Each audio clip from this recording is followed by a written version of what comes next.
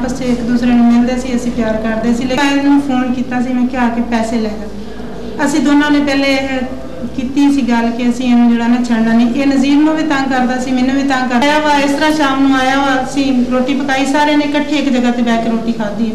ਰੋਟੀ ਖਾ ਕੇ ਮੇਰੇ ਬੱਚੇ ਇੱਕ ਕਮਰੇ ਵਿੱਚ ਸੀਗੇ ਤੇ ਮੈਂ ਦੂਸਰੇ ਕਮਰੇ 'ਚ ਇਹਨੂੰ ਲੈ ਗਈ। ਉੱਥੇ ਫਿਰ ਮੈਂ ਨਜ਼ੀਰ ਨੂੰ ਬੁਲਾਇਆ, ਉੱਥੇ ਅਸੀਂ ਇਹਨੂੰ ਮਾਰਿਆ ਅਸੀਂ ਇਹਦੇ ਨਾਲ ਪਹਿਲੇ ਰੁਮਾਲ ਸੀਗਾ ਰੁਮਾਲ ਤੋਂ ਬਾਅਦ ਫਿਰ ਛੋਟੀ ਜਿਹੀ ਇੱਕ ਰੱਸੀ ਸੀਗੀ ਕੱਪੜੇ ਦੀ ਬਣੀ ਹੋਈ ਸੀਗੀ ਰੱਸੀ ਇਹ ਦੋ ਚੀਜ਼ਾਂ ਸਾਡੇ ਕੋਲ ਸੀ ਇਹਦੇ ਨਾਲ ਮਾਰਨਾ ਉਹ ਪਲਾਨ ਬਣਾਇਆ ਕਿ ਅਸਾਂ ਮੈਂ ਇਸ ਨੂੰ ਸਿਲਵੇਸਾਂ ਸਿਲਵਾ ਕੇ ਜਾਣਾ ਆਪਾਂ ਲਹਿਰਾਲ ਕੇ ਕੰਮ ਕਰੇ ਸੀ।